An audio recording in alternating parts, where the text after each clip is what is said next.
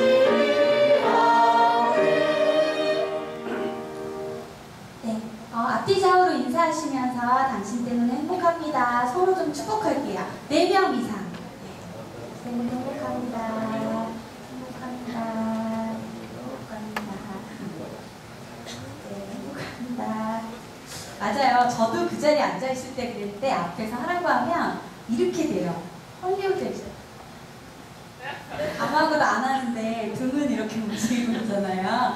어, 저도 해봐가지고. 자, 우리 고개를 돌려서 한 번만 더 우리 서로 누가 왔는지. 오늘 자리가 굉장히 많이 비어있죠? 예, 비가 많이 와서 그런가 봐요. 어, 당시 때문에 행복합니다. 허리를 움직여서 등 말고 인사할게요. 시- 시작. 시작 때문에 행복합니다. 행복합니다. 이성재 목사님이 제일 열심히 하시네요. 다음 화면 주시고요.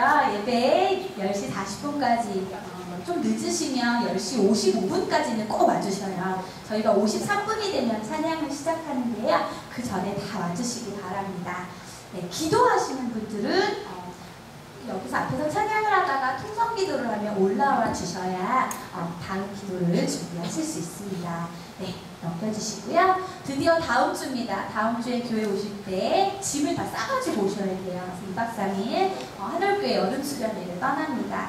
어, 다음 주니까요. 개인적으로 짐을 필요한 짐을 다 가져오시고요. 오늘 도미서가 저기 있는 것 같아요. 우리 중고등부 성령부는 도미서를 다 적어서 내주시면 되겠습니다. 장소 한번 볼까요?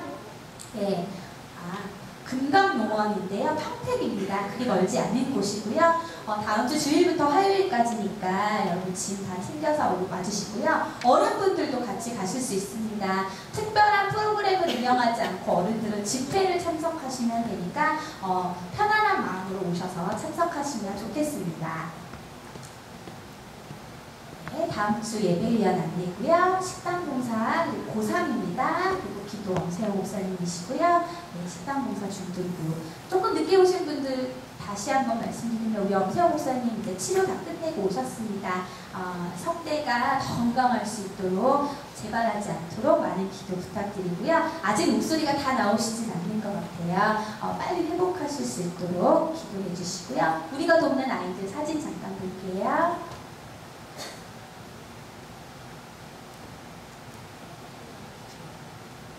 네, 야고보서 5장 7절 같이 함께 읽겠습니다. 한 목소리로 크게 읽어볼게요. 시작. 그러므로 형제자매 여러분, 주님께서 오실 때까지 참고 견디십시오. 보십시오. 농부는 이른 비와 늦은 비가 땅에 내리기까지 오래 참으며 행복한 소출을 기다립니다. 아멘. 네, 귀한 말씀에 감사해서 성가대의 찬양 읽겠습니다.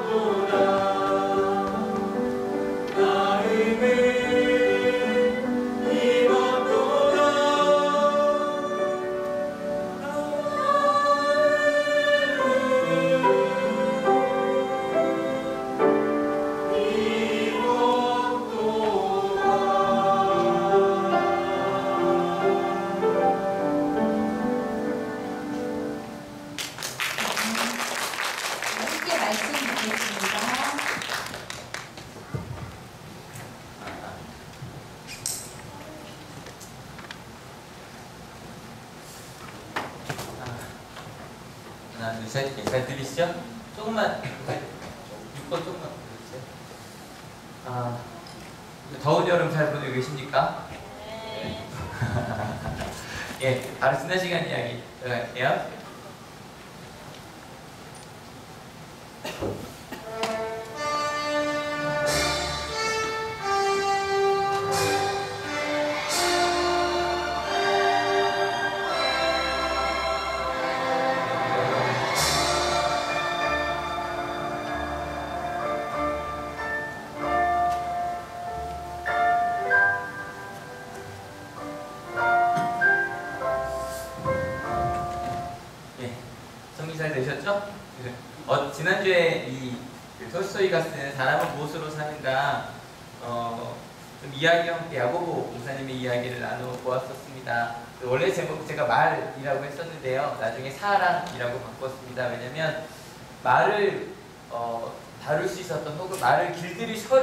길들일 수 있었던 사람이 있었다 없었다?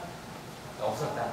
근데 아무도 혀를 못 길들였는데 그 혀를 길들일 수 있는 방법은 없지만 방법이 하나 있는데 하나님의 사랑으로 가득 채우면 된다라는 것 지난주 말씀이었습니다. 그래서 여러분에게 오늘 좀 여쭤보고 싶은 게 있어요. 어, 하나님께 사랑으로 우리를 인도해 주신다라는 어찌 보면 너무너무 당연한 명제인데 어, 여러분 솔직하게 대답해 주세요. 여러분 하나님께 사랑으로 우리를 인도해 주신다고 믿으십니까? 예, 보통 저희가 아멘이라고 대답을 하죠. 이 아멘이라는 말의 뜻 자체가 확실한, 신실한 그렇게 되어지다라는 뜻이래요. 이게 사전 제가 그냥 그대로 옮긴 거예요. 그러니까 아멘이라고 할 때는 이제 분명하게 좀 있습니다. 그래서 저희가 공동의 기도문을 하고도 아멘이라고 하는 이유는 예, 그 기도가 저랑 똑같은 마음입니다라고 할 때 아멘이라고 기도하게 되어 있어요. 근데 여러분 오늘은요, 네, 아멘이란 말이 이제 믿습니다란 말이 너무 저희가 반복되다 보니까 그냥 정말 yes no를 한번 대답해 주셨으면 좋겠어요. 이제 똑같은 질문이에요. 예라고 하면 아멘이라는 것과 똑같은 대답인데 느낌이 좀 다르더라고요. 여러분 정말로 하나님의 사랑으로 우리를 나를로 바꿔볼까요? 나를 인도해 주신다고 믿으십니까? 예, 예가 돼야 돼요. 두 번째, yes예요. 예. 예, 하나님께 사랑으로 그럼 우리 혀까지도 다스릴 수 있다. 어 여기 여기는 좀 어, 어, 여기는 되게 강하게 얘가 나오는데 그 다음에 좀 주저하시네요. 아니, 솔직한 대답 좋습니다. 세 번째. 그럼 하나님께 사랑으로 우리의 문제들 해결할 힘을 주신다. 어, 예. 하나님께서 사랑으로 하나님의 나라를, 그러니까 우리 가정을, 우리 교회를, 우리가 있는 그 자리, 직장을 하나님의 나라로 만드신다. 아, 보니까 두 번째, 네 번째가 좀 약해지네요. 두 번째, 네 번째가. 아마 그게 여러분들의 어, 솔직한 대답이실 것 같아요. 근데 그 오늘은 좀 그 솔직한 대답이 필요했어요. 제가 좀 심각한 질문으로 시작한 거예요. 그 이유가 있는데 제가 이번 방학 동안에 어, 지금까지 다섯 개 교회를 갔었어요. 그래서 수련회 거의 다 중고등반 중고청년부 수련회였는데 두 교회는 지방에 있는 그 작은 교회였어요. 작은 교회여서 뭐, 뭐 작은 교회도 20몇 명 모이고 큰 교회도 20몇 명 모이더라고요. 근데 세 교회는 정말 그 감리교회 지도자가 감독님들이라 부르거든요. 감독 회장님까지는 아니어도 감독님들이라고 하는데 어떤 지역 전체를 다스리는 분이에요. 다 감독님 출신 교회들이에요. 감독님이 계셨던 현재 감독님은 아니시지만 굉장히 큰 교회들이었어요. 어, 강남에서 아주 이름 있는 교회들. 어, 그리고 뭐 이 지역에 아주 이름 있는 교회들이었어요.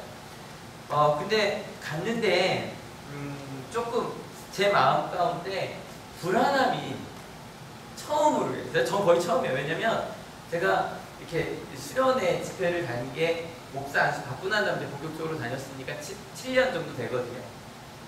근데 그동안에 내내 요즘에 교회 학교가 힘들다 힘들다라는 얘기를 많이 들었어요. 많이 들었는데 솔직히 제 마음에 어떤 생각이 있었냐면 아 교회 학교가 힘든 건 아, 좀 우리 그러니까 학교 힘든 것과 좀 마찬가지로 학생들이 좀 변하기도 했고 그 변함을 좀 잘 이해하지 못해서가 아닌가. 우리가 좀더 잘하면 되지 않을까라는 생각을 솔직히 했었던 것 같아요. 근데 올해는 어, 좀 불안했던 이유가 제가 갔던 교회들이 뭐 이름은 말하지 않지만 중고등부가 100명이 넘었던 교회들이야 다. 근데 20명 33명 어, 35명이 온 거예요. 그세 교회가 다 어, 근데 그것도 더 불안한 건 처음에 20명 온 교회는 안 온 애들이 많았어요. 안 온 애들이 많은 게 거기가 이제 강남에 있는 교회라 왜 안 하냐 물었더니 왜 안 왔을까요? 첫 번째 어, 공부 때문에 항상 중고등부 수련회 하면 원래 맨 앞자리에 고3들이 앉아요. 수련회 하면 어, 그 아니면 마지막 날이라도 와요. 근데 앞에 있는 두 교회는 고3들이 한 명 왔어요. 두 교회 합해서. 근데 그 한 명이 누구였냐면 취업 된 애였어요. 아, 전 처음이었어요. 고3이 없는 수련회 처음이었어요. 진짜로. 근데 다 강남에 있는 교회들이에요. 또 다른 이유는, 또 다른 이유는 미국에 많이 갔어요. 방학 시작하자마자 얼굴 많이 나왔어요. 근데 뭐, 뭐가 더 퍼센트가 많은지 모르겠지만, 근데 더 두려운 건 그 36명 정도 온 교회가 예배 인원이 40명이 되는 거예요. 그럼 되게 많이 온 거예요. 그리고 이번에 갔던 35명 정도 된 교회도 거기도 예배 인원이 40명이에요. 그러니까 예배 출석 인원이 제적이 40명이라는 얘기니까 어 좀 처음으로 제 마음에 불안해지기 시작하는 거예요. 야 이거 진짜 일단 첫 번째는 저런 것도 있습니다. 지금 고1이 제일 많다 그러죠. 전국적으로 고1이 제일 많대요. 그리고 이제 그다음부터 이제 급격히 줄고 있답니다. 근데 문제는 인구가 주는 것보다 교회 학교 주는 인원이 더 커요. 그래서 제, 저를 더 불안하게 했던 건 저거였어요. 전 가- 항상 적었거든요. 교회 다닌 지 3년, 3년 안 된 학생들 다 손들어 보라고. 근데요, 손들라 그랬는데 3년 안 된 학생이 세 교회 통틀어서 이번 주에만 간 세 교회 통틀어서 3년 안 된 학생이 두 명이었어요. 어, 말도 안 되죠? 100명 가까운 인원 중에 3년 안, 그러니까 더 저럴 수도 있겠죠. 부모님이 교회를 안 다니시니까 수련회 오기 더 힘들었을 수도 있어요. 근데 어쨌건 제가 왜 불안했는지 아시겠죠? 그러면 실은 뭐 우리 한국교회는 딴 교회보다는 학생이 많아요. 그러니까 저희도 이번에 중고등부 청년부 합해서 그러니까 중고등부만 해도 저희는 뭐 전사님 몇 명 예상하세요?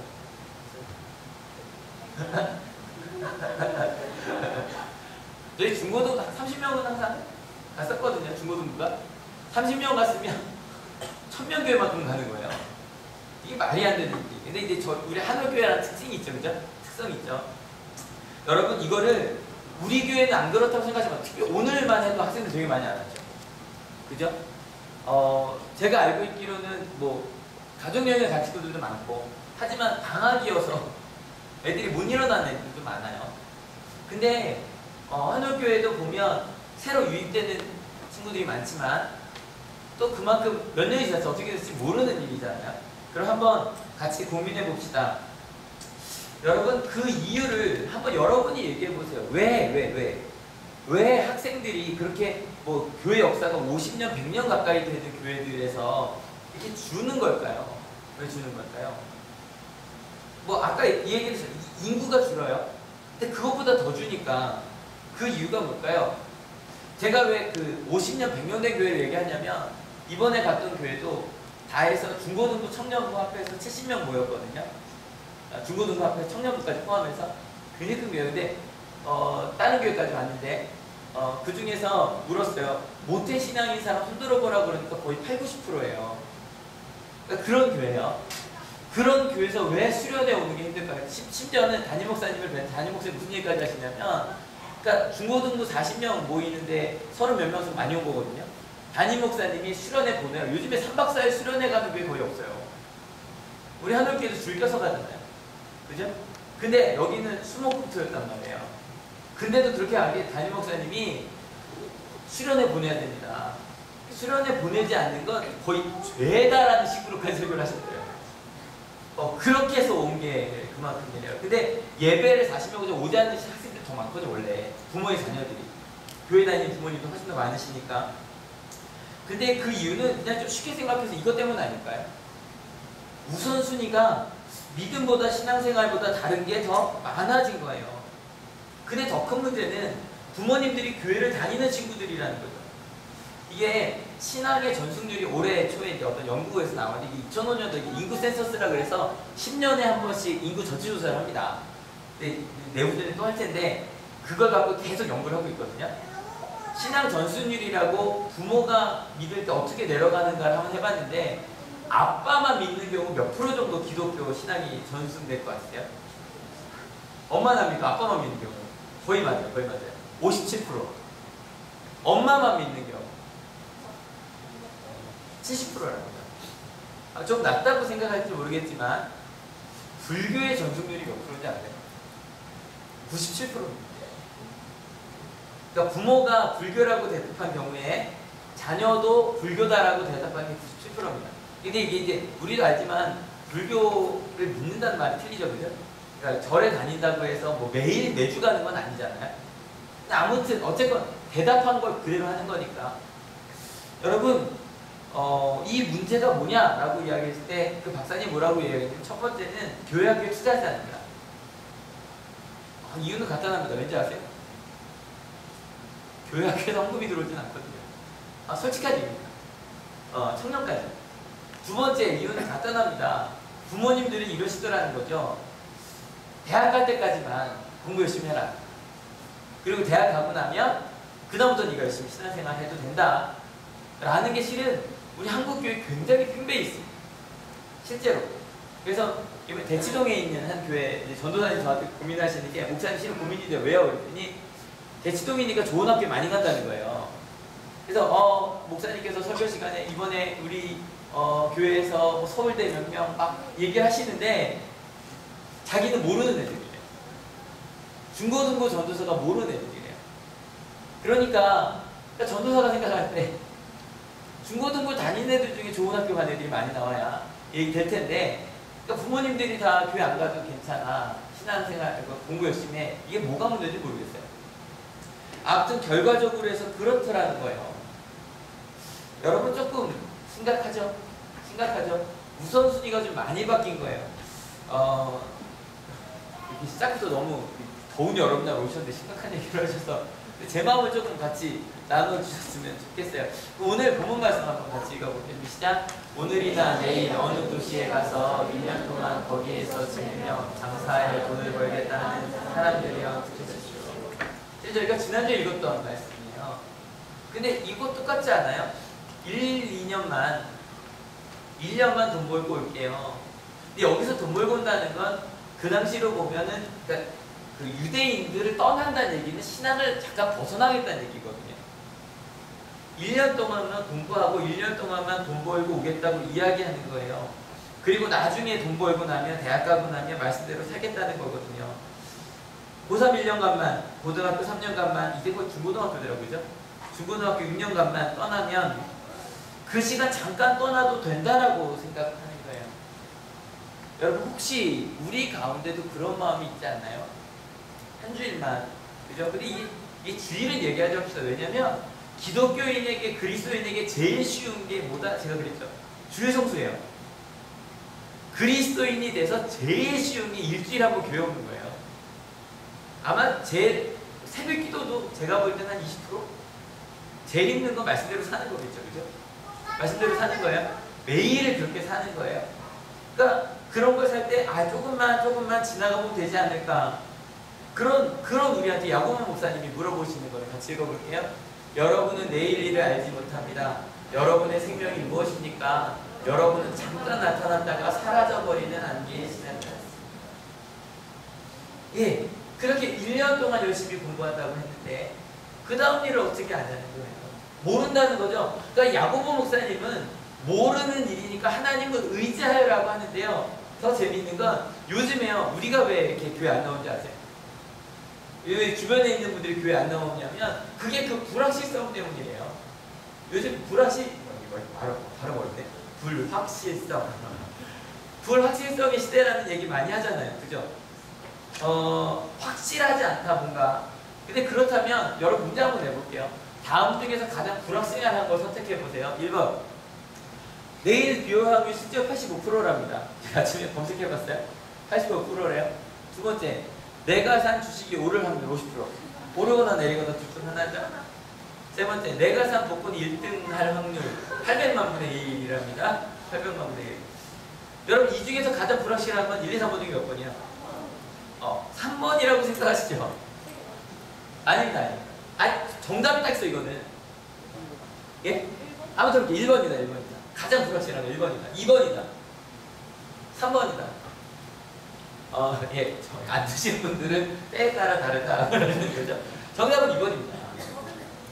왜냐면 내일 비올 확률이 높아요, 낮아요? 높아, 내일 우산 갖고 가실래요, 안 갖고 가실래요? 갖고 가야죠. 어, 내일 비 올 거예요. 내일 비 올 거예요. 근데 이게, 이게 내가 실내에 있을 때 올 수도 있죠. 여러분, 11시에, 11시 맞춰 오신 분들은 비 온 거 잘 모르시죠? 10시 오신 분들 한번 손 들어보세요. 장난 아니었죠?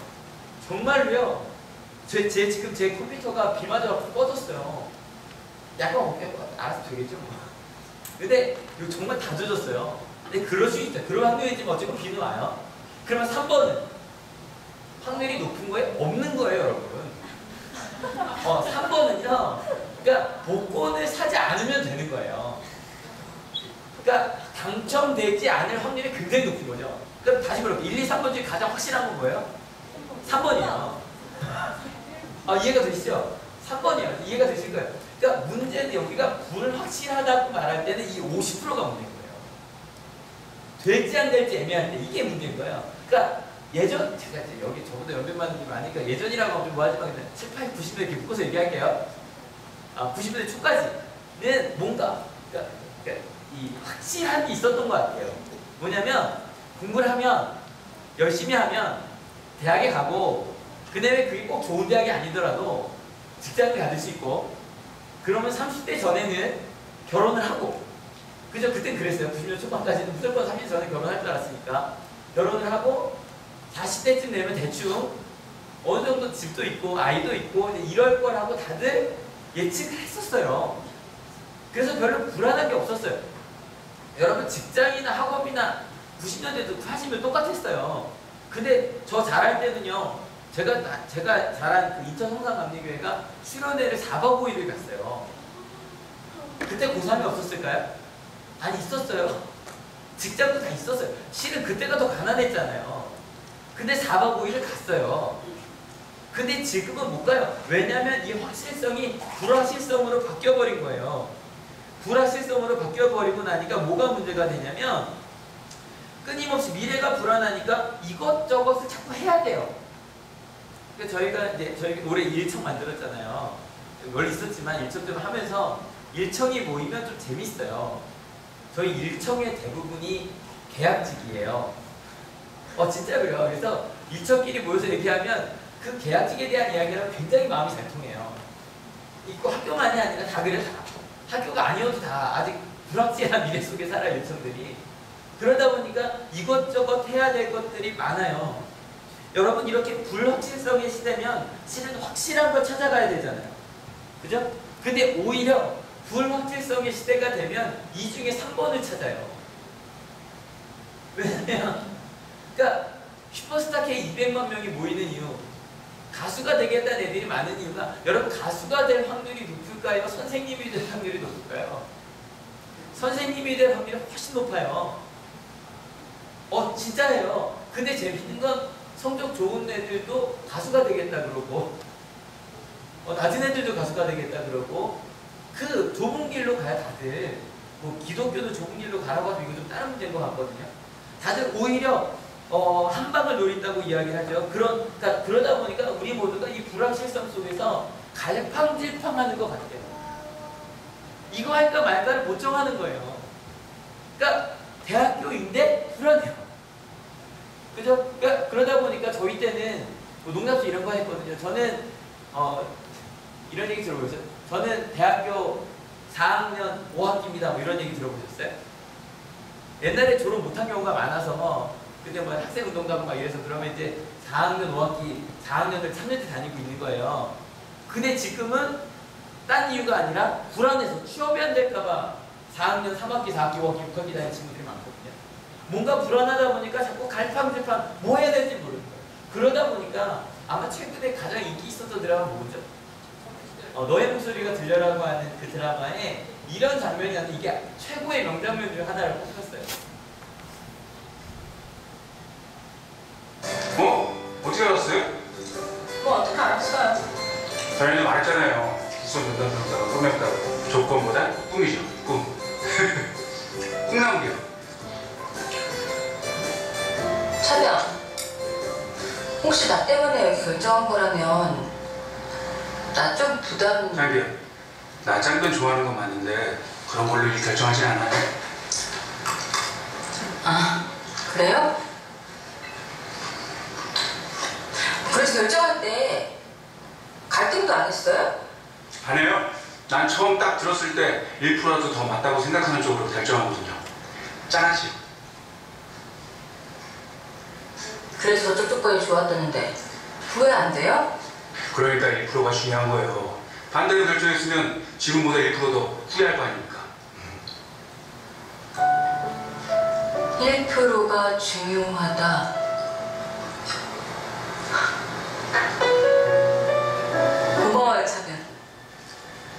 뭐가요? 그냥 다요.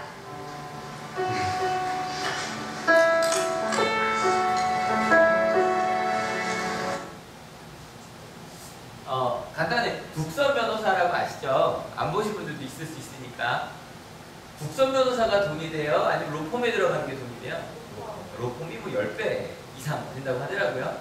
그런데 선택한 이유 나는 가난한 사람 돕겠다는 거거든요.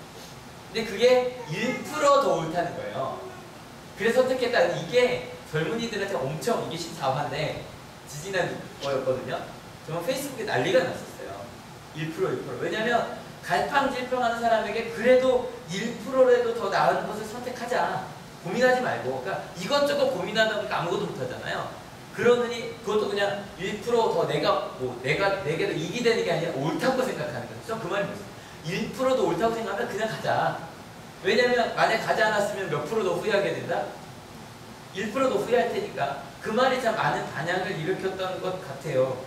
근데 여러분 여러분에게 다시 한번 여쭤볼게요. 하나님께서 사랑으로 우리를 인도해 주신다. yes yes no? yes. yes. 두 번째. 하나님께 사랑으로 하나님의 나라를 만드신다. yes no? yes. 몇 프로 yes예요? 1% 더? 아니, 저는요. 1% 더부터 시작하는 게 맞는 것 같아요. 신앙생활 하면서 처음에는 갈까 말까 고민하잖아요. 하다가 아니야 하나님께서 그러시는 것 같아 라고 하면 거기서 또 출발을 하는 거예요. 근데 그 1%의 확신이 언제부터 주어지냐면 실은 저는 진짜 부모님에게로부터가 맞아요. 우리 청소년 시기죠.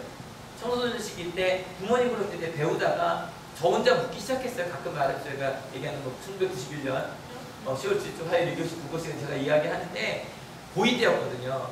그때 하나님에서 처음으로 물어 제가 묻는 거 제가 이제 부모님으로 묻는 게 아니라 제가 이번에도 어제 그저께 이제 갔던 교회 아이들 이제 기도해 주 기도 제목 쭉 받고 기도해 주는데 이게 되게 많았어요.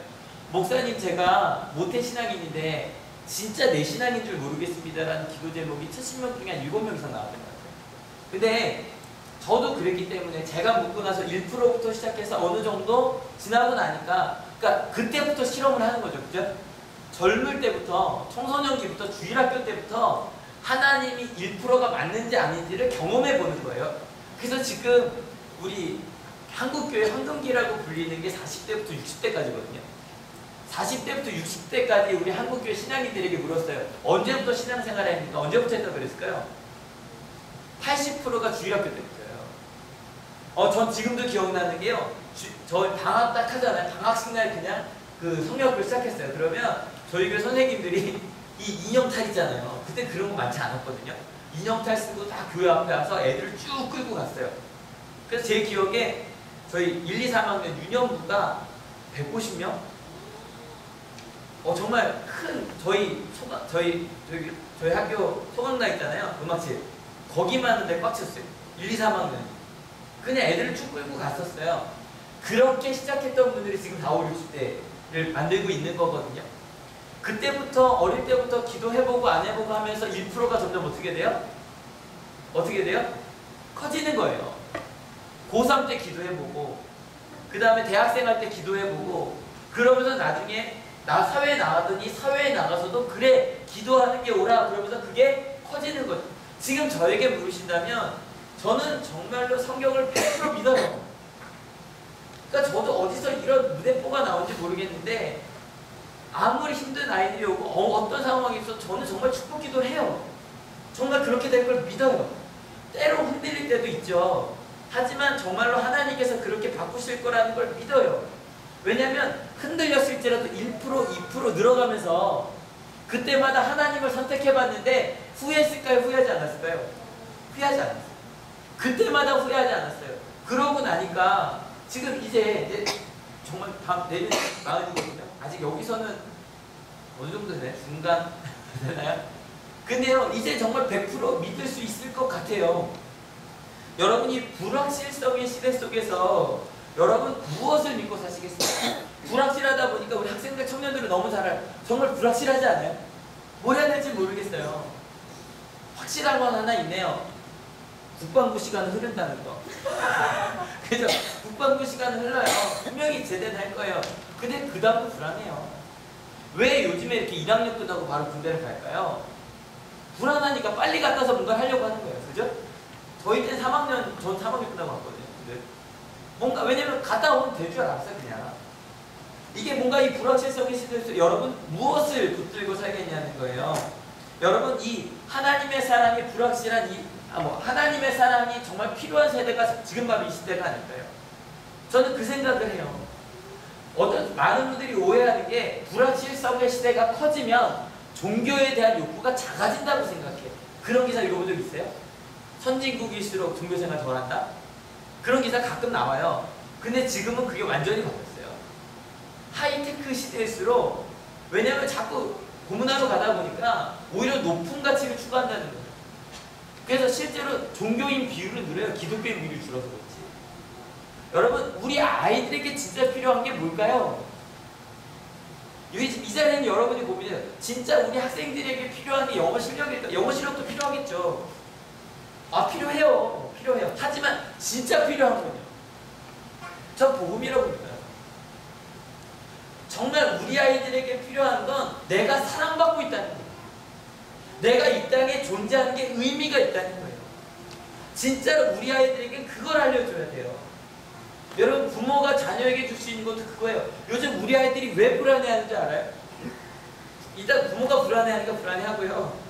정말 꼬마들이요. 내가 성적을 못 받으면 엄마가 날 진짜 미워할까봐 불안해해요. 우리 아이들에게 필요한 건 내가 어떻게 가더라도 하나님 아니 우리 엄마 아빠부터 나를 사랑한다는 걸 믿는 것이 필요해요. 여러분 복음을 위해 갈 수 있는 저희가 될 수 있었으면 좋겠어요.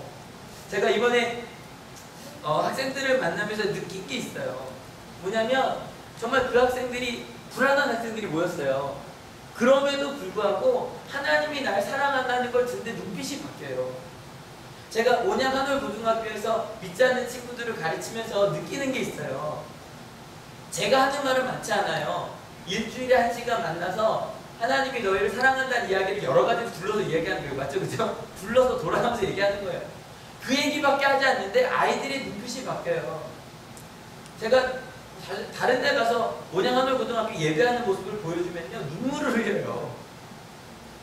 이게 아마 이해가 안 되실 거예요. 정말 눈물, 그 복음이 사람을 바꿔요. 믿으십니까? 야고보 목사님 이야기 더 읽어봅시다. 그러므로 형제 자매 여러분, 주님께서 오실 때까지 참고 견디십시오. 보십시오. 농부는 이른 비와 늦은 비가 땅에 내리기까지 오래 참으며 땅에 귀한 소출을 기다립니다. 이야기는 그걸 믿는다고 참고 견디자. 견디자는 게 그냥 이렇게 억지로 버티는 게 아니에요. 뭐 하는 거예요? 밑에 보니까 기다리는 거예요. 기다려. 무엇을 기다려요? 하나님의 나라를 기다려요. 저희가 앞에 읽었던 야고보 이제 오늘 마지막 시간이에요. 마지막 시간인데 저희 3주 전에 읽었던 것도 마찬가지. 다시 한번 읽어볼게요. 나의 형제자매 여러분, 여러 가지 시험에 빠질 때 그것을 더할 나위 없는 기쁨으로 생각하십시오. 여러분은 믿음의 시련이 인내를 낳는다는 것을 알고 있습니다. 여기서 말하는 시험이라는 거 말했잖아요. 증명하는 거예요. 테스트를 통해 증명하는 거예요. 하나님의 뜻 따라가는 걸 증명하는 거예요. 여러분 인내 그냥 버티는 거 아니잖아요. 긍정적으로 기다리는 거예요. 와, 이 시간이 지나고 나면 하나님의 일들이 있겠지. 그걸 기다리는 거. 그것이 바로 우리 기독교인들의 인내라는 거예요. 여러분 혹시 불안한 시대 속에 살고 계십니까? 여러분 그 불안을 어떻게 이겨내시겠습니까? 제가 아까 말씀 시작하면서 수련회 다니면서 불안했다 그랬잖아요. 근데요 반대로 또 행복했어요. 아까 말씀드린 대로 그 학생들이 뭐 모태 신앙이든 아니든 와서 불안해하던 아이들이 정말로 하나님이 나를 사랑한다 전 그 말밖에 안 해요. 첫째 날은 그 얘기만 해. 그 얘기 두 시간에 하나님 날 사랑한다는 얘기만 해. 근데 그 얘기를 했는데 아이들이 바뀌어요. 정말로 바뀌어요. 어, 이번에 기도 제목 봤는데 재밌는 게 두 개가 있었어요. 목사님, 학교로 돌아가서 사고 치지 않게 해주세요. 그거 하나 있었고요. 하나는 학교로 돌아가게 해주세요. 근데 어전 그 아이들 정말 꼬끄랑 왜냐면 그 아이들은 돌아가게 될 거예요. 믿으십니까? 왜냐면 그 아이들이 바뀌는 거예요. 내가 하나님의 사랑을 받는다는 것만으로도 정말 내가 바뀐다는 거예요. 그 다음에 이야기할 거 저거밖에 없어요. 하나님이 나를 향한 완벽한 계획이 있다. 그 얘기만 또 두 시간 해요. 근데 그 이야기가 사람을 바꿔요. 목사님이 정말 나를 통해 하나님 일하시겠죠. 그걸 통해서 학생들만이 아니라 청년들, 아니 심지어 거기 계신 목사님들이 제일 좋았어요. 청년들이, 교사들이 저한테 해서 목사님 너무너무 좋았다 그래요. 여러분 지금 사회에서 믿음으로 버티고 있다고 뭔가 바뀌는 것 같지 않으시죠? 더 읽어볼까요?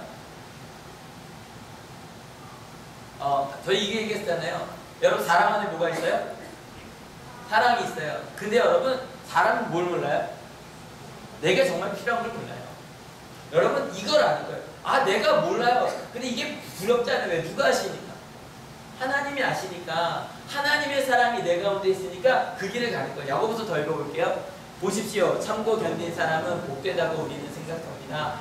여러분은 욥이 어떻게 참고 견디었는지를 들었고 또 주님께서 나중에 그에게 어떻게 하셨는지를 알고 있습니다. 주님은 가요하시는 마음이 넘치고 불쌍히 여기시는 마음이 크시나. 딴거 다 잊어버리세요. 알고 있다는 거 이제. 여러분 불확실성의 시대에 살죠. 하지만 우리는 알아요 몰라요? 알아요. 아는 건 딱 한 가지. 제가 아는 건 뭐냐면 하나님이 우리와 함께 하신다는 걸 믿으십니까? 예. 나중에 여기 있는 학생들이 어디 갈지 저 모르겠어요. 우리 집사님, 권사님들이 뭐 나중에 30년 뒤에 어디 계실지 저 진짜 모르겠어요. 모르겠어요. 그런데 아는 게 하나 있어요. 하나님이 우리 가운데 역사하신다는 걸 믿으십니까?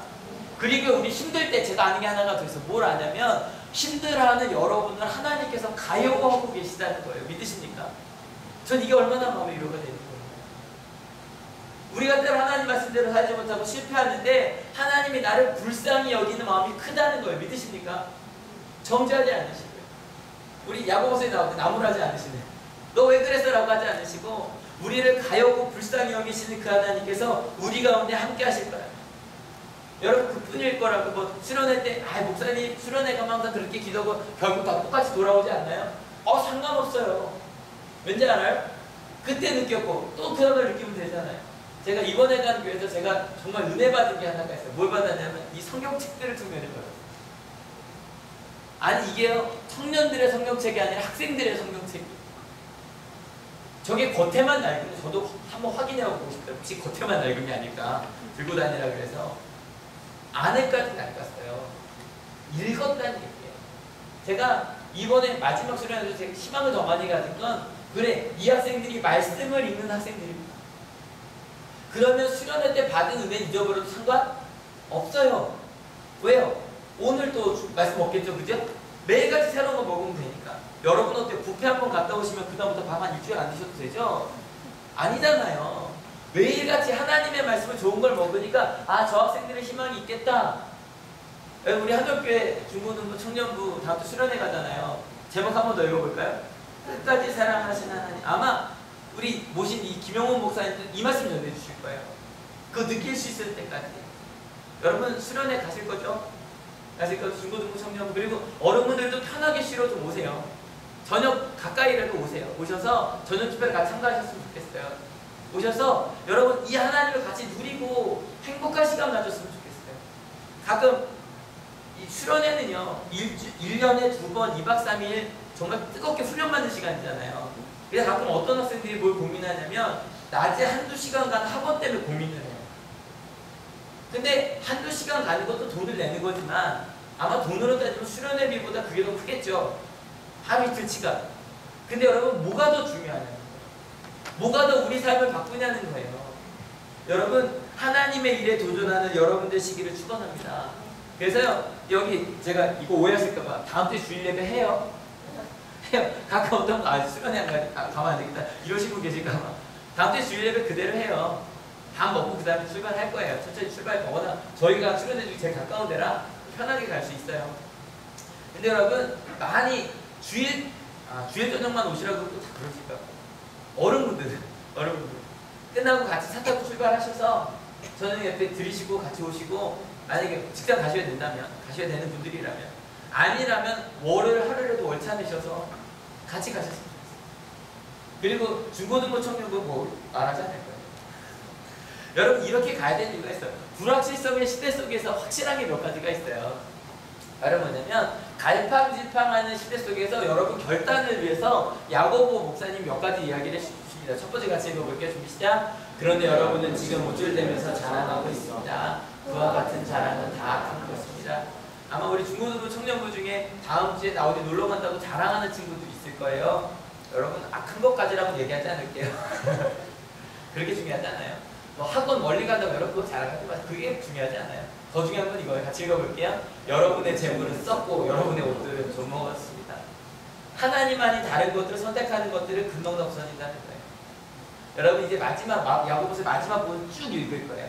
쭉 읽을 건데 이렇게 결단이 되셨다면 내게 주는 말씀으로 하나씩 좀 이렇게 곱씹어 봤으면 좋겠어요. 같이 읽어볼게요. 여러분 가운데 고난을 받는 사람이 있으니까 그런 사람은 기도하십시오. 즐거운 사람이 있으니까 그런 사람은 찬송하십시오. 여러분 간단한 거예요. 그냥 고난 받으면 기도하세요. 즐거운 일 있으면 그냥 찬양하세요.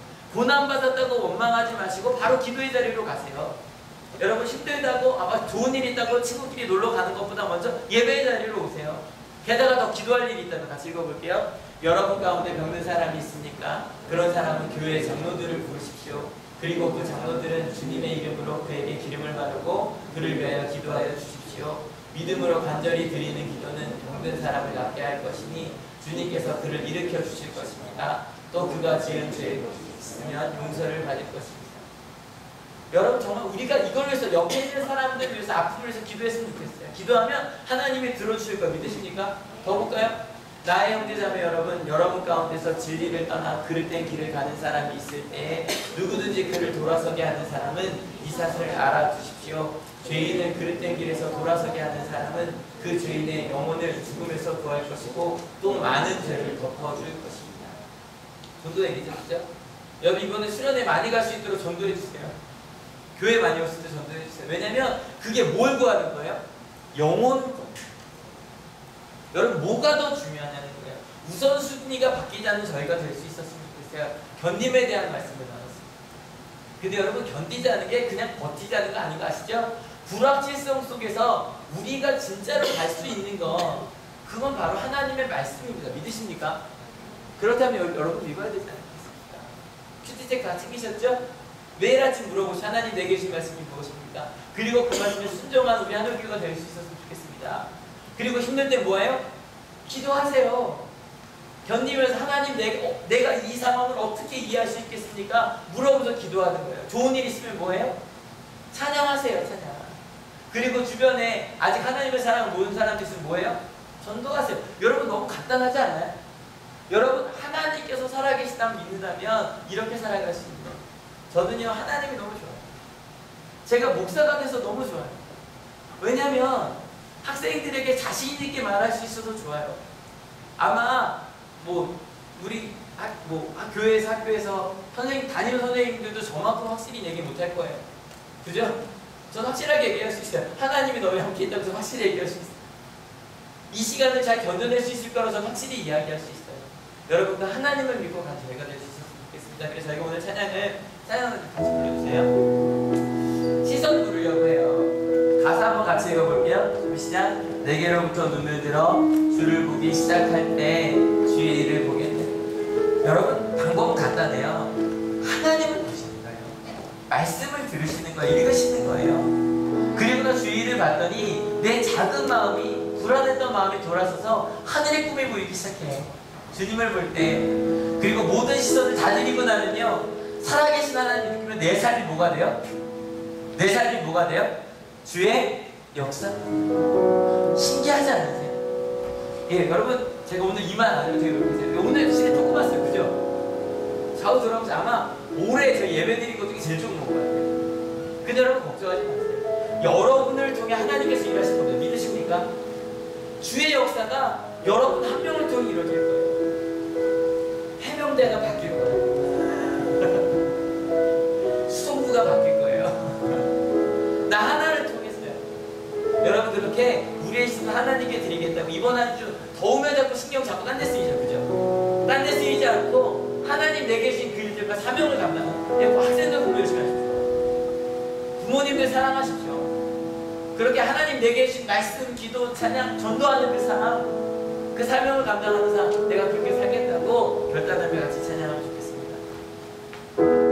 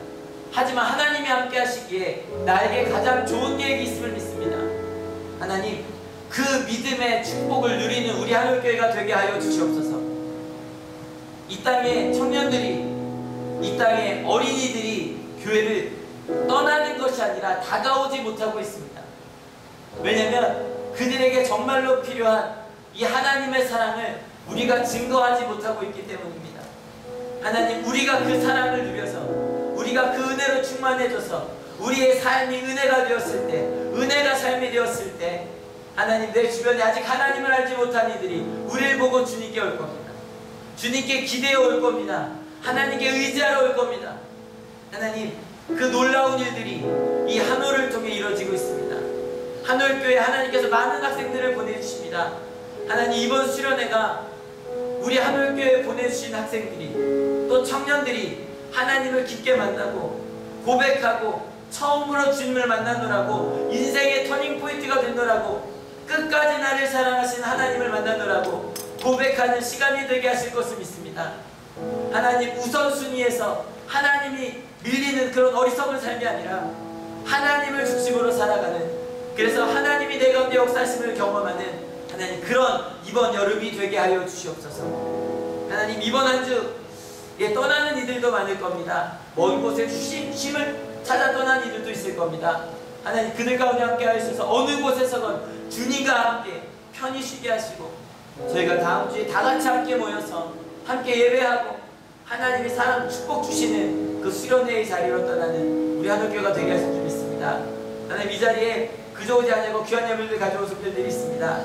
하나님 그 예물들이 그 하나님의 나라, 하나님의 사랑을 증거하는 데만 사용되게 하시고 하나님 그 예물들을 통하여 많은 이들의 영혼이 구원받게 하여 주시옵소서. 이제 다른 것 아니라 불확실성의 시대가 아니라 확실한 하나님을 믿고 가겠다고 결단하고 돌아가는 우리 하늘교회 모든 하나님의 귀한 성도님들 머리 위에 예수 그리스도의 사랑과 하나님의 은혜와 성령 하나님의 인도하심이 지금으로부터 영원토록 함께 하옵시기를 간절히 축원하옵나이다. 아멘.